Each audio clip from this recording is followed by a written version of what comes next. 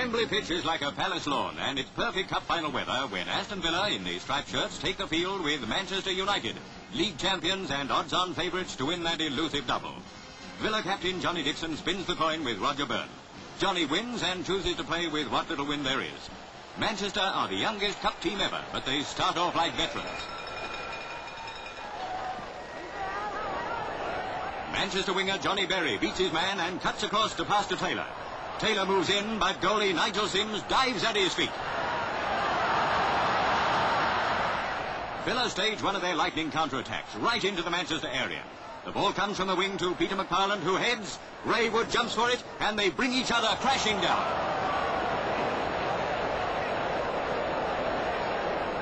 Both men seem to be in pain. Referee Frank Coultas calls for the trainers. McParland's only shaken, but Wood's taken a really bad knock. He has to leave the field on a stretcher. With only seven minutes gone, the worst possible luck for Manchester United. They battle nobly on and try to start an attack, but it's heavy going with only ten men. Jackie Blanchflower takes over at goal, and the Villa soon give him plenty of work to do. But McParland's shot misfires. Crowther beats Bobby Charlton, races on to meet Edwards, and he's beaten him too. Danger for Manchester again, but Jackie Blanchflower's playing as though he'd been in goal all his life. Tommy Taylor has it, and Manchester are on the move. No sign of Wembley nerves about these boys. In spite of his injured jaw, Ray Wood's back in play, taking the right wing for the time being. To help him out, Manchester concentrate on the left till he finds his feet. But their attack is handsomely held by goalie Sims. Villa skipper Dixon loses it to Bill Whelan, and Roger Byrne gets it away. A long one into the Villa goal mouth. Taylor's there, but he stopped, and Nigel Sims pounces on it safely.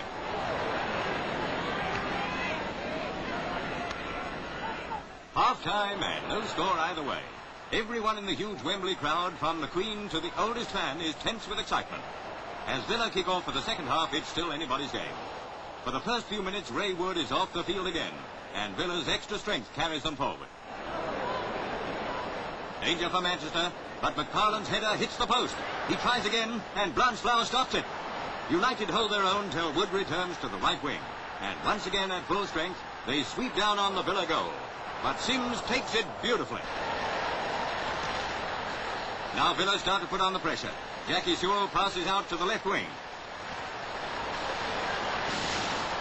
Bill Foulkes gets it away, but the winger recovers and steals it back. Blanchflower collides and the ball goes loose. Manchester try to clear, but Villa's winger Leslie Smith stops it. Out to Johnny Dixon, who passes to McParland, and Blanchflower hasn't a chance. One up for Villa. From a free kick, Manchester nearly equalise, but Edwards slices his kick. And a second attempt by David Pegg goes wide. Now it's Villa again, inspired by their one-goal lead against a team everyone said couldn't lose. The ball goes out to the right wing where Manchester skipper Roger Byrne tries hard to stop it.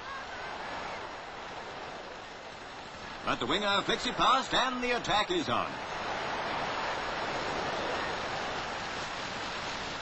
A hot shot hits the post, then McParland bangs home the rebound.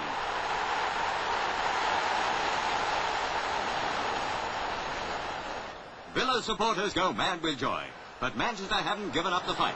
They succeed in forcing a corner, and from Tommy Taylor's header, Sims concedes another.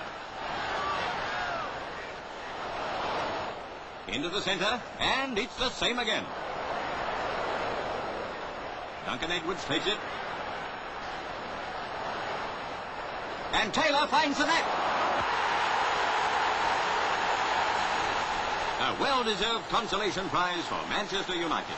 But that's how it stays, and it's skipper Johnny Dixon who leads victorious Aston Villa up the steps to the Royal Box.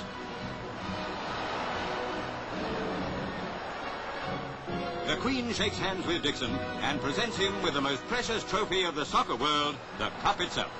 It's a record-breaking day for Aston Villa, and although Manchester United were disappointed after a gallant fight, at least they can say they lost to the first club in soccer history to win the FA Cup seven times.